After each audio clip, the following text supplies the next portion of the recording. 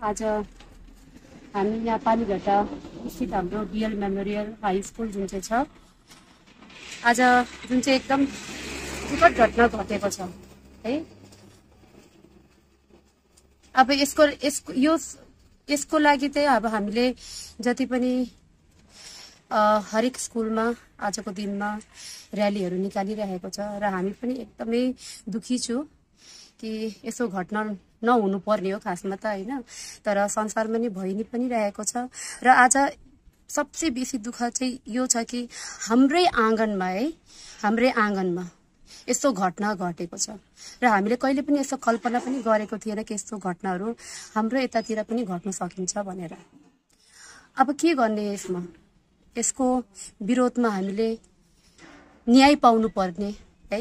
नानीको जुन नानीको यो घटना घटेको छ त्यो नानीको घरबारमा आमा बुवाले त्यो नानीको लागि हामीले एउटा न्याय पाउनु नै पर्छ।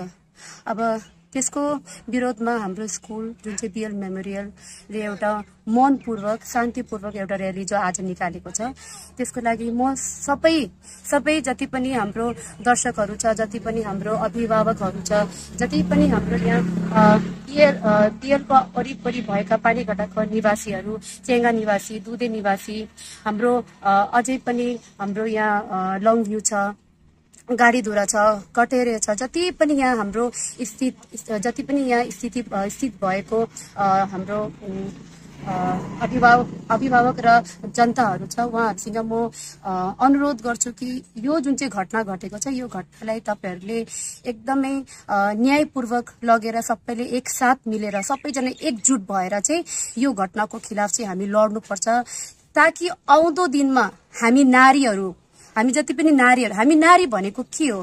हामी नारीको व्याख्या कसरी गरिन्छ? एउटा शक्तिको रूपमा गरिन्छ है? हामी एउटा आमाको रूपमा एउटा बहिनीको रूपमा एउटा स्वास्नीको रूपमा एउटा प्रेमिकाको रूपमा गरिन्छ। तर आज के भइरहेको छ नारीसँग? यो चाहिँ एकदमै नघट्नुपर्ने घटना घटिरहेको छ र आज जुन चाहिँ यो जग्गामा घट्यो यो हामी एकदमै मान्दैनौँ।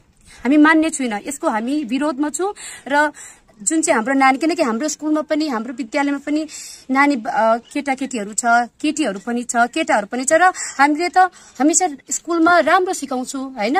तर यस्तो नहुनु पर्ने कुरा यो घटनाहरू नघटोस् भनेर चाहिँ म सबैलाई अपिल गर्छु सबैलाई म भन्छु कि हामीलाई एकदम हामी हाम्रो साथ हाम्रो बिएलको साथ लिएर चाहिँ यो घटनालाई चाहिँ एकदमै यसको लागि चाहिँ यसको खिलाफ चाहिँ विरोध चाहिँ हामीले गर्नुपर्छ है।